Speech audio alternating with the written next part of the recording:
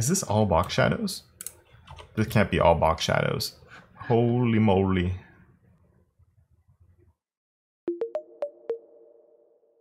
A while back, I asked people to show me the no div stuff they created because apparently you can make amazing things without even having to have one single div. And I got a whole bunch of submissions. I'm hoping to be completely blown away. Let's see if they're as, as amazing as I think they might be. All right, so let's start by scrolling down and checking out. First, we have these by uh, Temani Afif of CSS Challenges, who shared a whole bunch of them.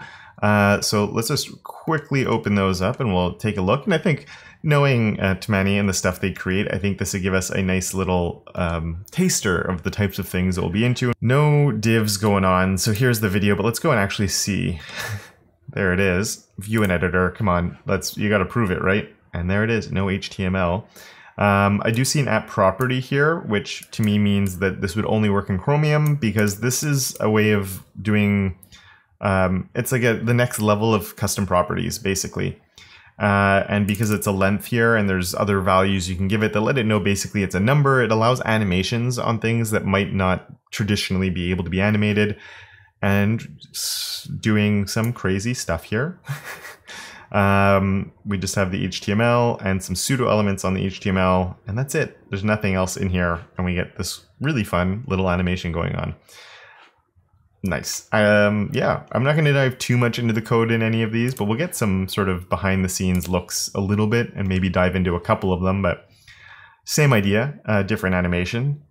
I'm assuming uh, they got the other one, so obviously here, once again, same idea using @property to be able to play around with these. Um, you know what? I just realized. Let's heart this and come and heart this. Make sure these these get some love.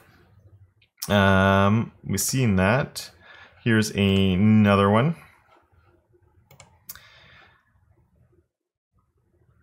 Oh, okay, yeah, there we go. That's kind of trippy to watch. Very cool, same idea, nothing going on there, and a blob effect too. Ooh, this one's really different. So this one's all done on the body by the looks of it, and a pseudo element with some masks. Because I think most of the ones we're actually, I see a linear gradient here too. I think we're going to see lots of linear gradient stuff going on. Um, but yeah, look at that. Ooh, that's fun. um, what, what, I don't know what the animation even would be on. It's just on a mask. That's so, what, to be able to do that with CSS only is really cool. Um, like that, the wobble. The wobble stuff is super cool. That's definitely worth investigating a little bit more, but I just have no idea right now, so we're going to move on. Um, onto this one. It goes a bit more into the feeling of some of those other ones that we saw. This one's a little bit more complex though, because like because the lines are the boxes are moving, and they're doing not even a square, down across, down across. Okay, it's always down across. I thought there was like a bit more of a complex animation. But even then, I don't get it exactly how you do something like that. Background positions are being moved around. So, yeah, I'm not sure. really, really cool. Regardless, I have no idea. Um, it's a little mesmerizing, but yeah, really nice stuff Temani. Thank you for for sharing so many of them, and awesome uh, on having created all those. Really, really cool. Uh, I'm impressed. Hopefully, I didn't miss one of the links, but we get sort of a, a, nice introduction to what we can do without divs that just, I don't know how you can do it. Um, Adir codes, let's go check. This looks like it's the other end of the spectrum. So instead of being, yeah, so instead of like some patterny stuff going on, more like the CSS arty realm, but with an animation too. And there's like little layers on this too of like the text message popping off. That's so cool. And then like, how do you make, so we have our root, the HTML and the body and the body before and after, and that's it.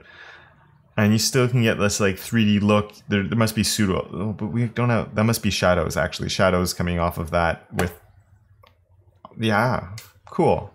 Um, and again, this is the type of thing, like, why would you want to do that? But like, you have to get pretty creative to be able to make this without any divs. Uh, and you're sort of limited to your body and your HTML element. And because of that, you probably learn some tricks that you might act like imagine creating this type of effect all with divs that you might be your first instinct, but then if you realize you can just do it with some box shadows or a single box shadow that has lots of shadows in it, I wouldn't know where to start if I wanted to do that with divs. so I have no idea how I would plan to do it without any.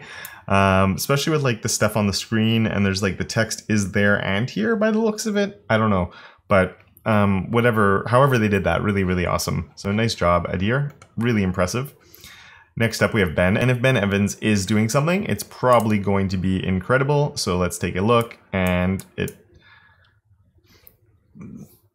There... There's so much happening here. and I don't know how they do it. Uh, this one I think I'm going to look at in a little bit more detail. Because I just can't even wrap my mind around how you would do that. We can slow it down or speed it up. Let's just say five seconds. And it should reload, but slower. Okay, that you can see sort of, let's break down that animation. Um, I can change the body color, the border color, and the time. There's the body, content, animation on the back, time and steps, okay, after, da da da. Unfortunately, my box shadows exceed the CodePen size limit, so I have to link it to link to it externally. Is this all box shadows? This can't be all box shadows. Holy moly.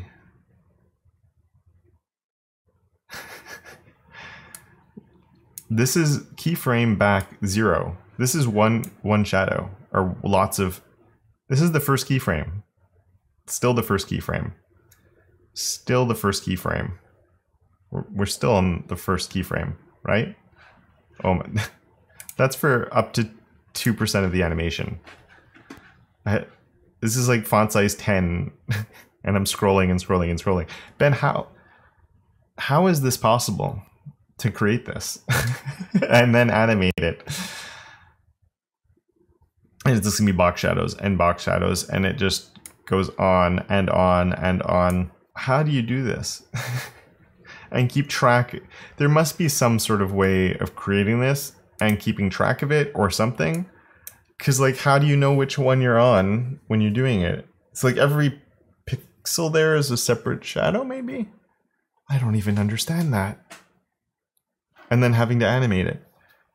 I, I have no idea how that's possible. I'm going to be in touch, Ben, because I need to understand how this works. I just don't know how you.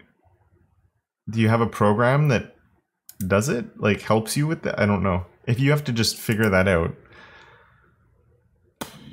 I don't understand. But it, it this is one of those things that it's impressive when you're looking at it and you don't know how it works. But then once you get a little peek behind the curtain, it's actually more impressive.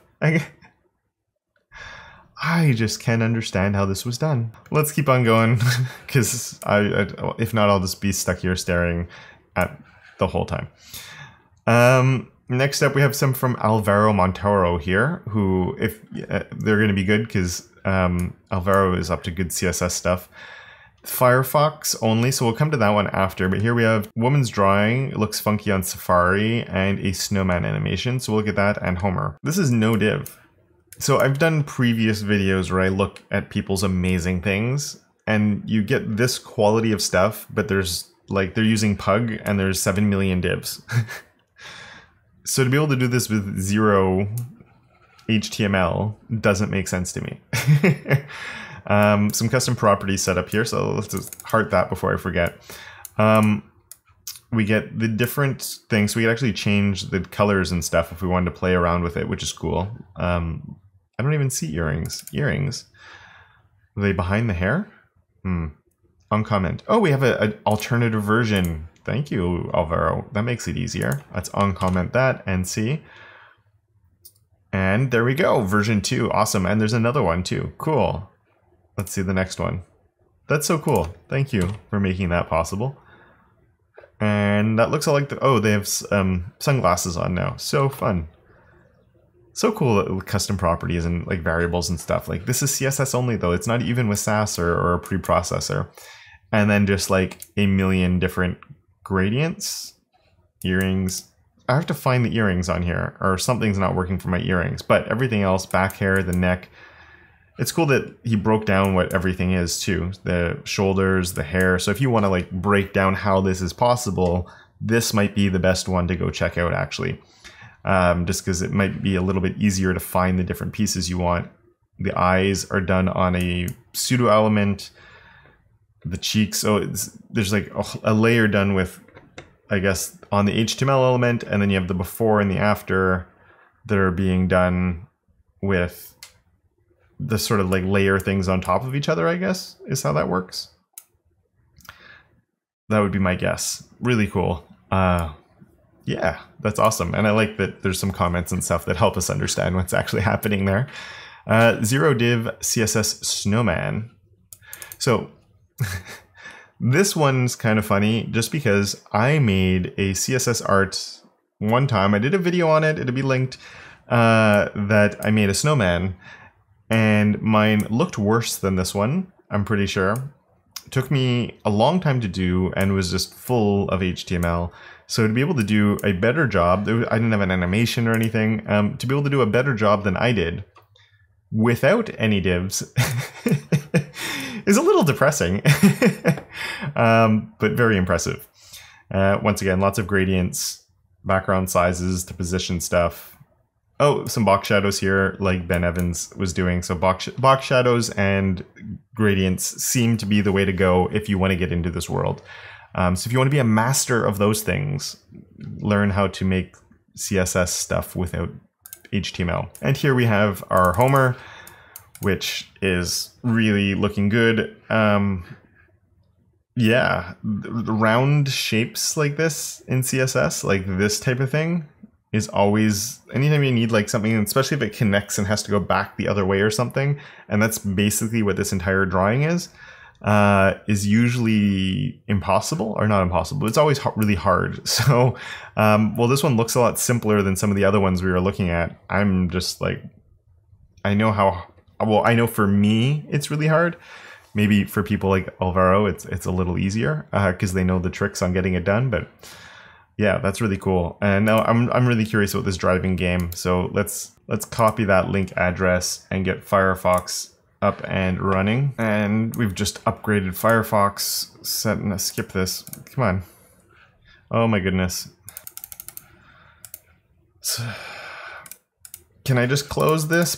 Start browsing. There we go. Thank you. Let's actually jump in. And okay, race car game. Oh, there's my car. We have to go on the road, don't we? And then game over. Move the mouse outside of the window to start again.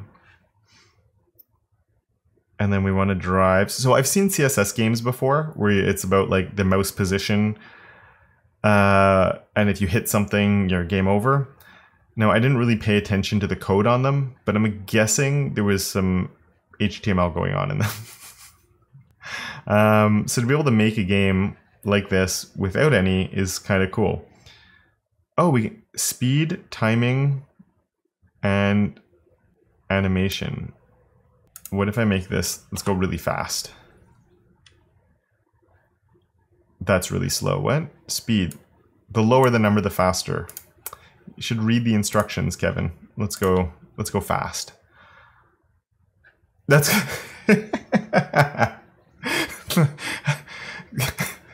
One sec. No, okay, a little too fast. Let's try like 10. Uh, five? Maybe five I could do. yeah. Oh, that's that's fast. Oh, there we go. Five five is probably like as high as I'd want to go. Uh, yeah, I could I could prob.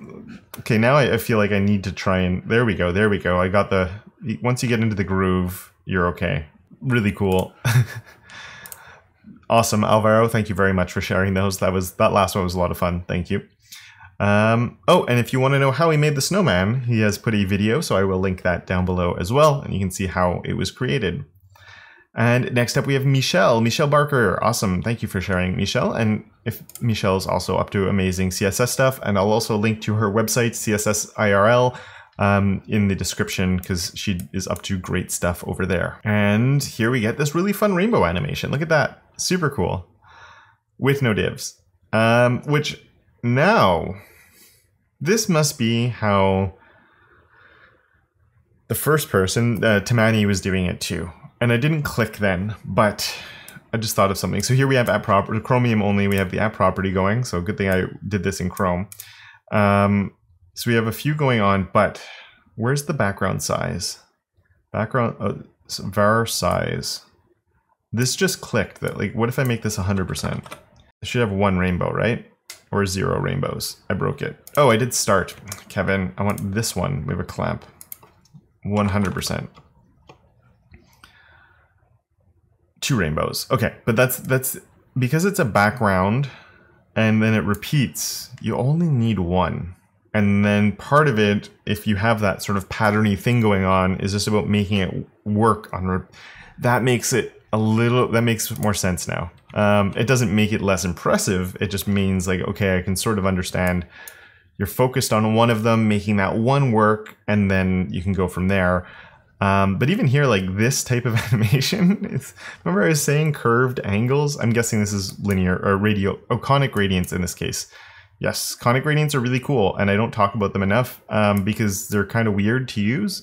But if you understand what they are and how you can use them, you can do really cool stuff. And here is an example of a really fun animation. But imagine doing charts with conic gradients. It could work super well. You can animate stuff with them, pie charts, do weirds. I don't know. But this is how you can just do a fun little rainbow at the same time. So thank you for sharing that one, Michelle. Really nice. Uh, we all need a little bit more color and, and, stuff like that. So thank you for sharing that. Next up, we have Miguel here, um, world's best CSS. So let's go and check that out. And world's best CSS, we do have some HTML here. This is done with Haml, but I'm assuming there we go, the text just disappears. So that does, in my opinion, classify as a no div. Um, and basically, I'm guessing it's all based on pseudo elements and something going on here. Some box shadows. I mean, this shadow, just looking at like, again, this is CSS art where normally you get tons of stuff here and then styling it here. This actually looks like very minimal amount of stuff going on, to be honest, to be able to get something like that. I'm guessing there's some like scrolling, some longer stuff somewhere here. There we go. Um, on some of the shadows or something else. I don't know, but it looks really nice. And just like the, like the lip here with the shadow that's changing inside the lip, and then here we have the nice shadow, the soft shadow there, for a white on white on white thing, just to get like these little details. I'm super super impressed. Um, looks really good, Miguel. Really nice job. Cool. Uh, and again, I, I just have no idea. So awesome. And Adam is the last one that got something in, so we'll check out what uh, he said the couple, I think it's one and two. So first we have, let's just heart that up. We're here. It looks cool. Recursive number nine. Look at that go.